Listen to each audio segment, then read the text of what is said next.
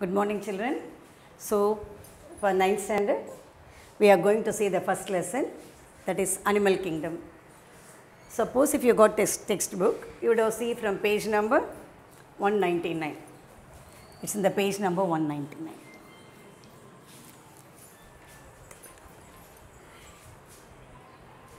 Living things can be broadly classified into two that is plant kingdom and animal kingdom.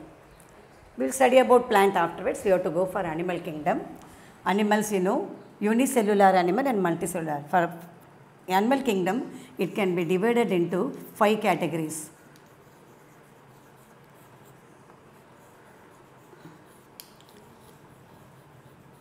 So, what are the categories?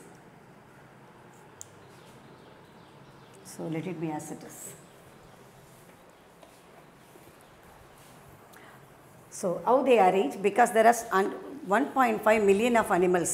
So, arrangement of animals is a great problem to the scientists and they arrange according to their habit, internal anatomy, taxonomy, that is classification, everything based on the structure, habit and characteristics, they arrange them according to their level. So, this is known as what? Classification. That is, lot of species are there. How we got religion, caste, creed like that. Animals also got it. Lot of, lot of, lot of animals are the, They are classified into categories. The classification is known as taxonomy. So, what is ta- taxonomy? Classification of animals according to their habit, characters, this is known as taxonomy. Animal kingdom further we can divide them into five. First one is Monera and the second one is Protista. Third one is fungi and the fourth one is plantae. Fifth one is animalia. So, what are the five orders I say? Monera, Protista, fungi, plantae and animalia.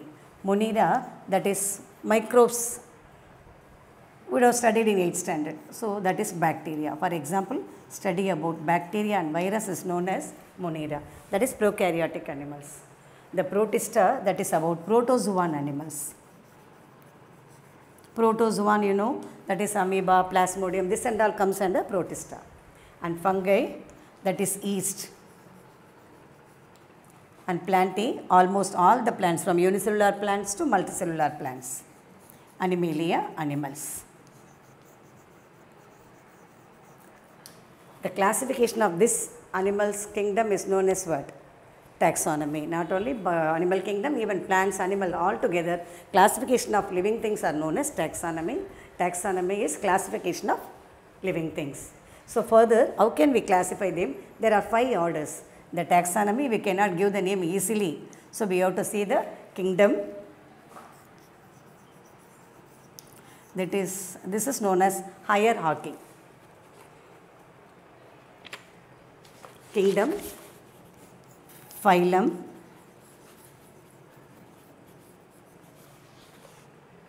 class, order,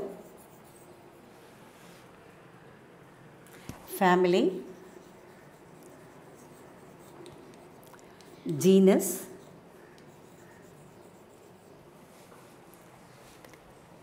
and the next one is species.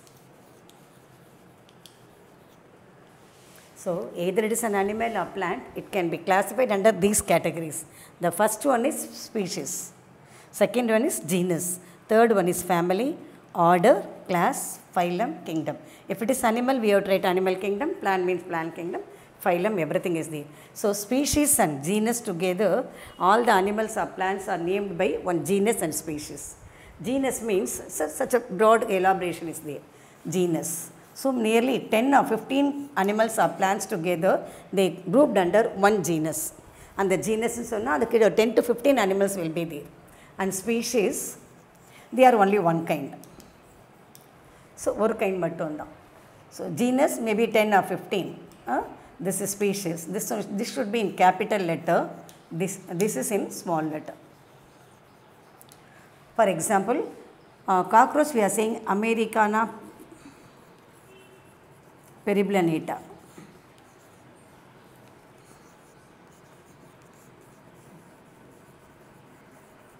so this is genus name it's in capital, this one in small letter. So, ஒரு அனிமலுக்கு ஒரு name இருந்தால் that is it should certainly consist of one genus and species genus must be in capital and uh, so species name should be in the small letter.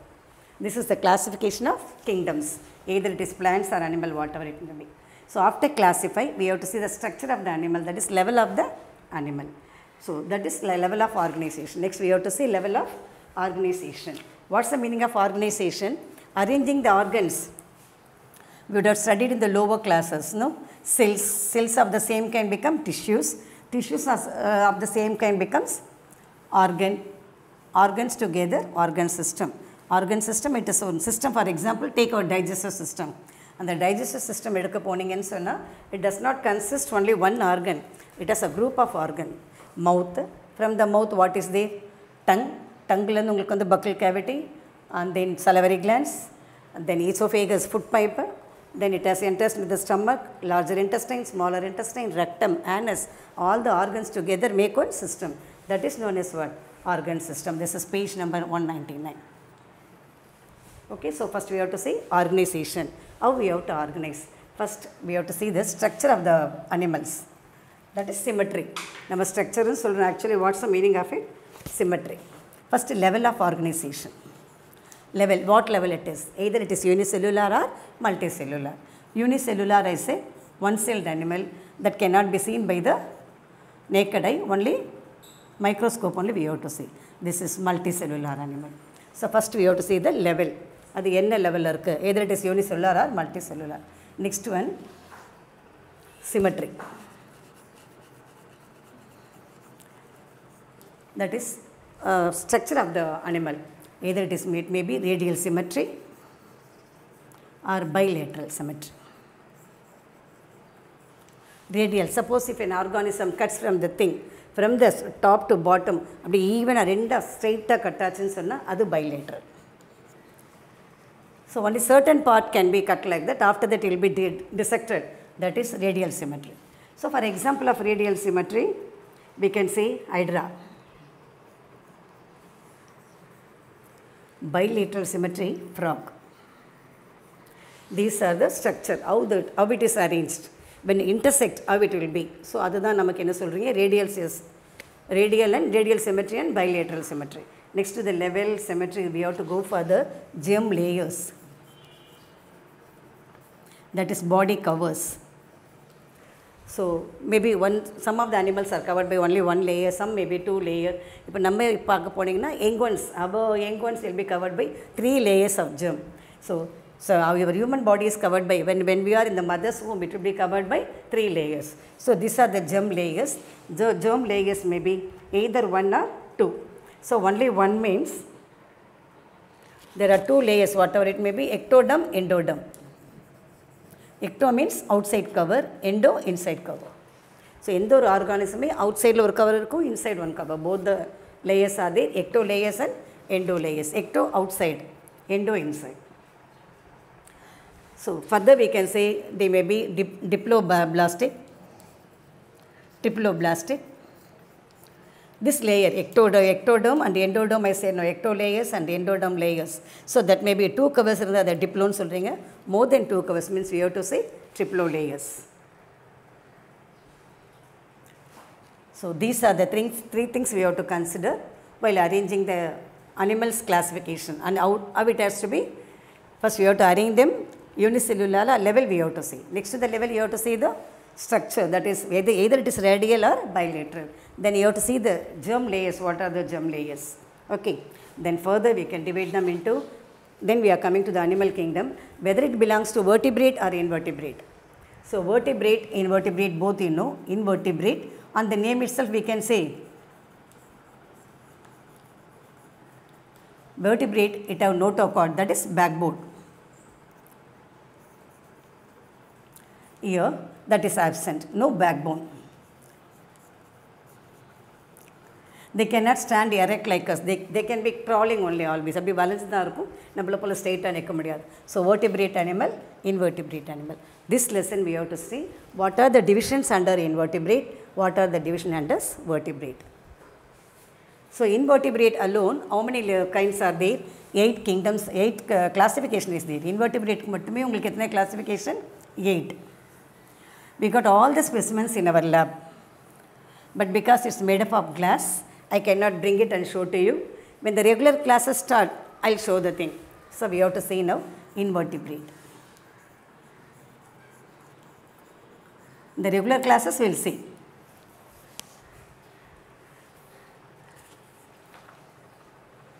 So what are the kingdoms here? First one, Porifera.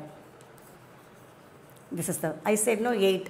What are the eight first? Let me say first. First one is Porifera. Second one is Coelenterata.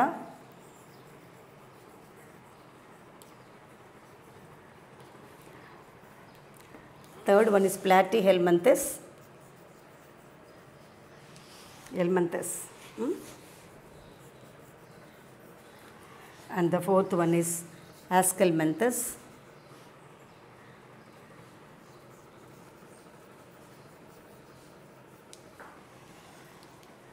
Annelida.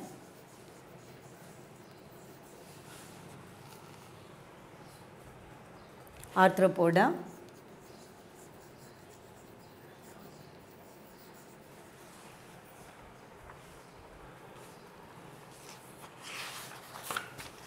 Mollusca.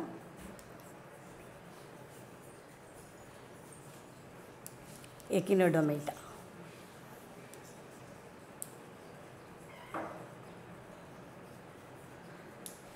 So, under the invertebrate, we have to see seven that is Porifera, Coelenterata, Platyhelminthes, Aschelminthes, Annelida, Arthropoda, Mollusca, and Echinodermata. Let us see Porifera. So, body of the animals are made up of pores, small pores. So, this porifera, the body can be full of, this, animal or cell, cell body will be full of, they have full of pores. Mostly they are living in the fresh water only. So, what is the habitat of the animal? Water.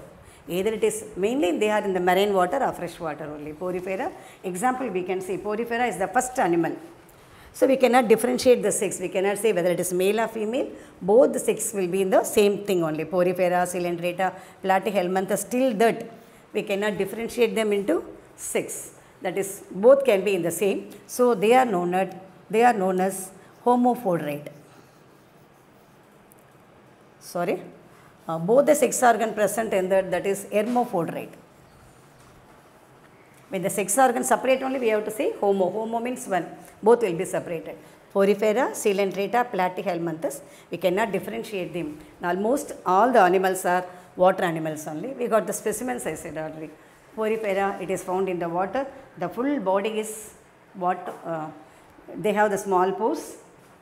They have the water vascular system. Vascular system, very beginning I say, in the 7th standard you have studied. Vascular system, this is an important system. In the case of plants, we are saying what? Xylem and phloem. They are conducting food and water.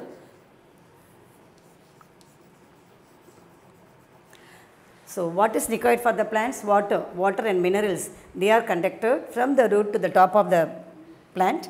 That is xylem and phloem. So, a phloem for mineral particles, xylem for water. The same like whereas for the animals, vascular system is that is circulatory system, that is blood vessels, arteries, veins, capillaries. These are the blood vessels. So, vascular system means in the plants it is xylem and phloem, in the animals it is arteries, veins and capillaries. Here porifera, the vascular system is water vascular system because nothing is separated, uh, circulated there except water. So, porifera is water circulatory system it has. Example we can say starfish. Have you seen starfish? So this is radial symmetry நீங்கள் எங்கே cut பண்ணாலும் ஒரே போல தான் இருக்கும் this is radial symmetry this is porifera porifera example is star next one you have to see coelenterata ciliated on the name itself, you know, there is a body cavity. Around the body cavity, there should be tentacles.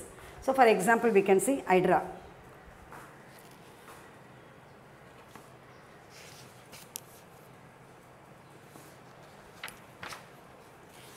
Hydra like this.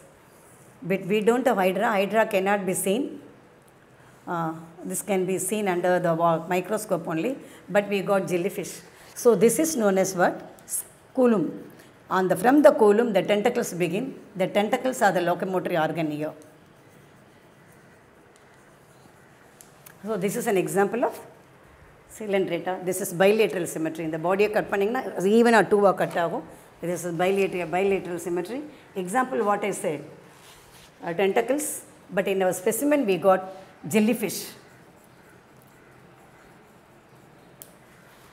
Jellyfish மேல் ஒரு அம்பரலா போல் இருக்கும் ஃபிஷ்ஷோட tentacles அது அதுக்கும் உங்களுக்கு organs இருக்கும் moving organ that is under the thing it has two layers only so this animal is what two layer இருந்தால் என்னன்னு சொல்லியிருக்கேன் நான் diploblastic three layer means diploblastic two means tie tie two okay diploblastic and it has the entire body is covered by the tentacles like this. Hydra as an example, I said no, the same way we got jellyfish in the specimen. Hydra also example for that. They got a special type of cells.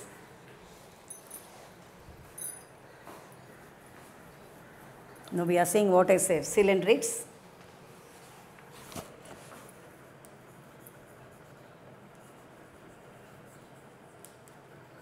They have the tentacles. Special type of cells are they that is nematocyst.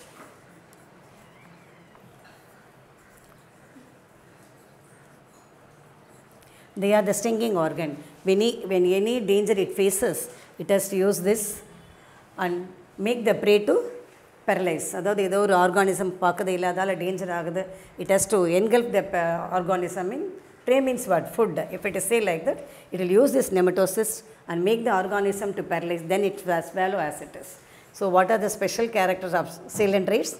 It has tentacles to move and it has a special uh, singing organ that is nematocyst. The body is two layers so it is diploblastic. These are the characters of coelenterates. Example what I say? Jellyfish. Next we have to see platyhelminthes.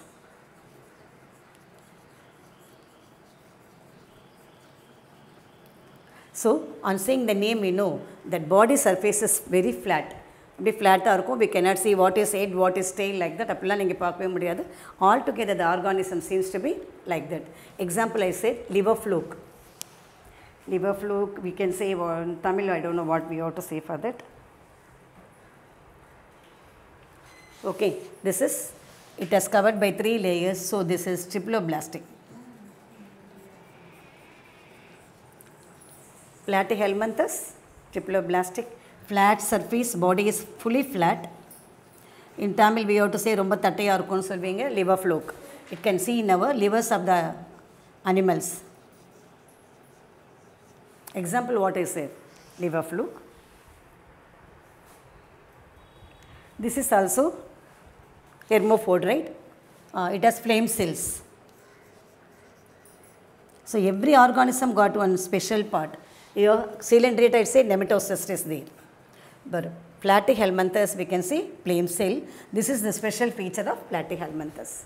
So first one we say porifera. It is porous, body is porous. Vascular system is water vascular system. Cylindrids, the body has a cavity. Cavity is surrounded by tentacles. And there is a special stinging cells that is nematocyst. This is diploblastic. Third one is I said platyhelminthes. It has three layers, diploblastic. It has the flat surface. Uh, example what I said, liver fluke. Liver fluke we got in our specimen also. They have the cell, special cell that is flame cells. So remaining things that is for from muscle menthus, annelida, arthropoda, mollusca and echinodermata will continue in other class.